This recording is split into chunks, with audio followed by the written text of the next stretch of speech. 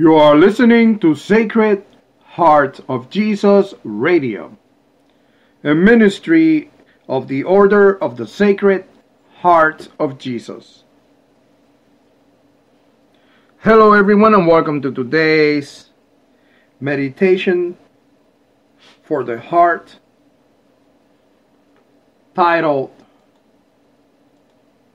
Saying I am not a racist is not enough.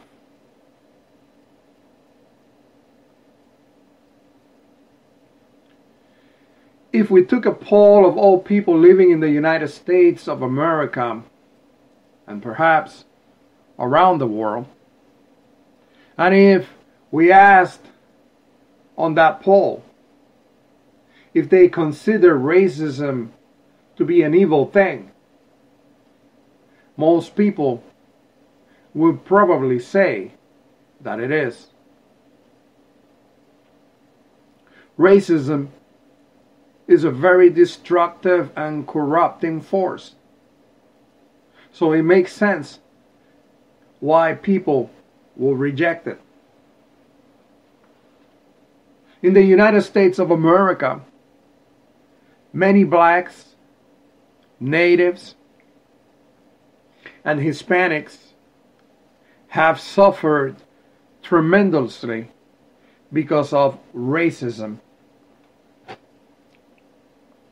So, if you ask that question to the primary recipients of such horrendous hatred, they will certainly tell you even personal stories about how they have been adversely affected by racism and why they consider it evil indeed. Now, most white Americans have never had to endure racism. However, that does not mean that they do not realize that there is a destructive force behind racist thinking, and that for that reason, many whites do not favor it. Yet, I will be quite honest with you. I am deeply concerned about racism in America. And I am concerned about how many are deluding, deluding themselves into thinking that racism is something for the history books, something that no longer needs to be dealt with.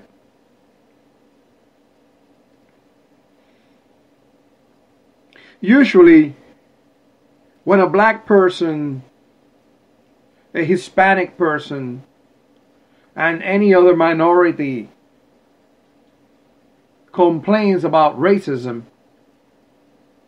the first thing many white people do is dismiss their claims. Now, this could be because they honestly believe that racism no longer exists. It could be because they know racism is a repugnant and poisonous crime against God and do not want to deal with it. Or it could be because they have found this tactic efficient on taking the voice of the oppressed away from them. In any case, this is the attitude that those who have the power, the majority, those who can make changes, often take when confronted with the question of racism. Of course, all people will immediately say, But I, I am not a racist. Very few people will admit to partaking of such a horrendous sin. However, saying I am not a racist is not enough. Why do I say this?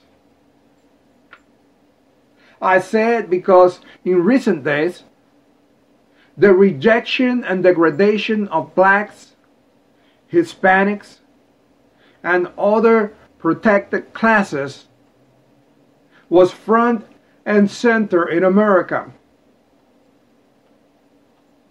While not all these degrading incidents that took place were considered racism, some were bigotry, hate of women, and just plain hatred. They do connect back to the basic repulsive notion that a human being is inferior to another in some way.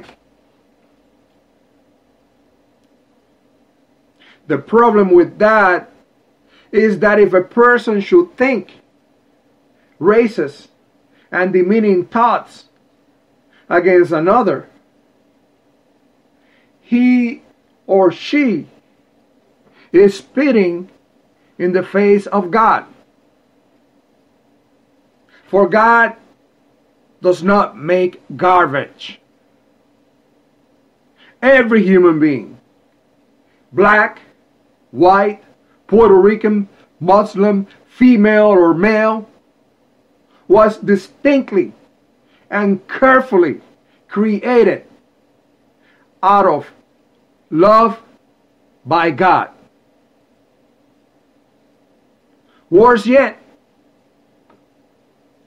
when a believer stands by as those who spit on God's face, reject his human creation,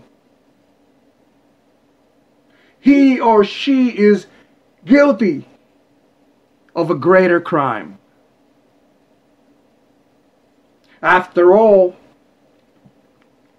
God has given you the honor to stand in the midst of rebellion against Him and to give testimony about His love to the world. He's giving you the opportunity to defend His love. Yet, even though you know you were presented with that honor, many of you chose to stand on the side of rebellion. Many of you opted to support racism and all forms of hatred towards other humans. And you did so in great numbers. This was a horrible thing. However, it is not too late. You still can stand up and be a voice for those who have less power. Honor God by defending all people.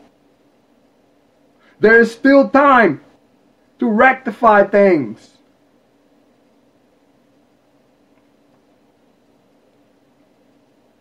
I pray that the Lord God will use people, especially white people, since they control the power structure, to speak loudly against racism, to push back on the notion that racism is a lesser lesser evil and that it no longer exists. Since my voice as a black man and as a Puerto Rican is already being muted by the dismissive voices of those who stand still against this rebellion against Almighty God. I pray that their status in life can help those who have the power defend the sanctity of life of all of God's children. I also pray the Lord's mercy be upon those who are feeling rejection and pain because of racism. In Jesus Christ's name, we pray. Amen. This concludes today's meditation title Saying I am not a racist is not enough. I'm glad that you were able to come by and listen.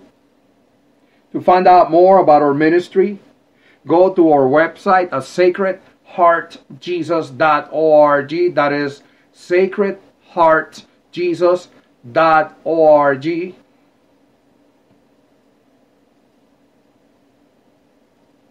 Also, if you want to join forces with me,